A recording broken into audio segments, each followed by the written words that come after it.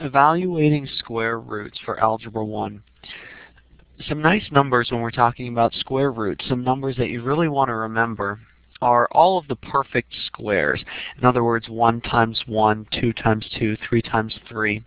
All of these results here, the 1, 4, 9, 16, 25, 36, etc.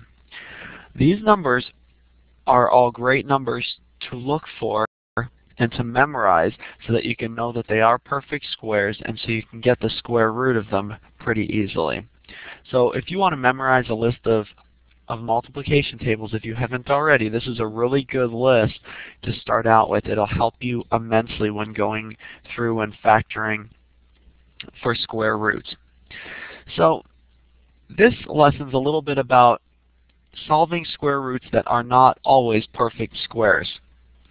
So it's pretty easy to solve them if they are, but what if they're not? For example, what if we are asked to solve the square root of 21? The first thing that we look for is, is it a perfect square? Or is there a factor that's a perfect square? The factors of 21 are 1, 3, 7. There's not really, in 21, there's no perfect square factors. So we'll go on to the next part, and that's to estimate it. What we would do with 21, for example, is, oops, that's 21 is look at the two perfect square numbers that are around 21. So the square root of 16 is 4 and the square root of 25 is 5.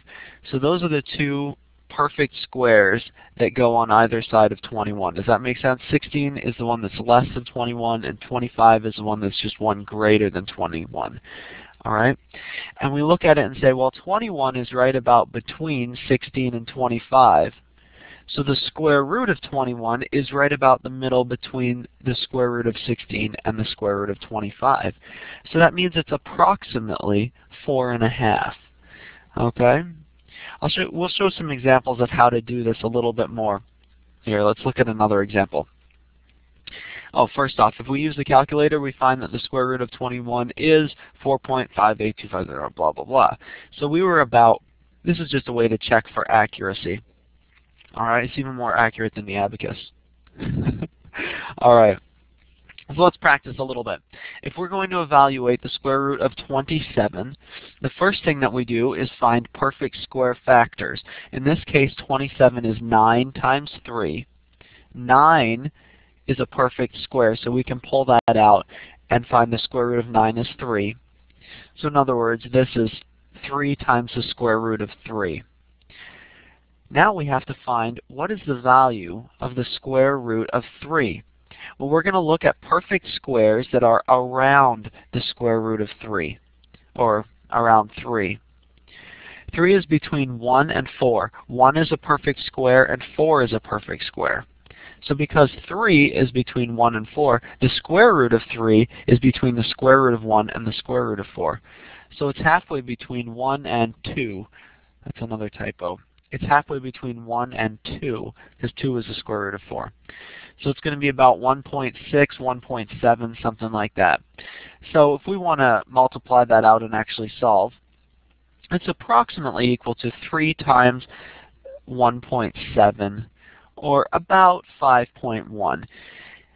And with things like this, this is a real estimate. These ones here, it's a real guess. If we used 1.6, we'd be a little bit farther off, but it wouldn't be that far off. It'd be pretty close. Um, we want to check with our calculator and see that we're about the right area. So that looks about right. Let's look at the next one. And the square root of 492. First thing that we do is we look for perfect square factors. We have a perfect square factor of 4. 4 times 123 is 492. We'll take the square root of 4 is equal to 2. And now what we need to do is find two perfect squares that are one that's just greater than and one that's just less than 123. From our original list, we could take the square root of 121 and the square root of 144. Okay, so those are our two perfect squares that are on either side of 123. One is less than and one's greater than. So because 123 is between 121 and 144, the square root of 123 is between the square root of 121 and 144. Because it's really close to 121, you see, this is uh, it's all estimating. Is it closer to 121 or 144? Well, clearly it's really close to 121. just a little bit greater than that.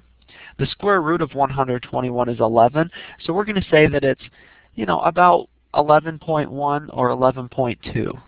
Okay? Because if 123 is really close to 121, then the square root of 123 is going to be really close to the square root of 121. It's a little bit bigger. So we'll go ahead and say it's about 11.2. And when we multiply that together, 2 times 11.2 is 22.4. We can use the calculator and find that it's actually 22.1810. So we were pretty close, 22.4, 22.1 you know, it was, I mean, it was pretty close. If we'd used 11.1, it would have been a little bit closer, but you know what? This is estimating. Okay, when we estimate, this is, this is pretty close. When we want something more accurate, you definitely need to start checking with your calculator or doing other more advanced functions that we'll show you later on. But for now, estimating, you just start using logic. Where does it fit? 123, it's between these two perfect squares. So the square root of 23 is going to be between the square root of both of those numbers. Which one is it closer to? And just give it an approximate decimal value. So I hope that that's been helpful, and have a great day.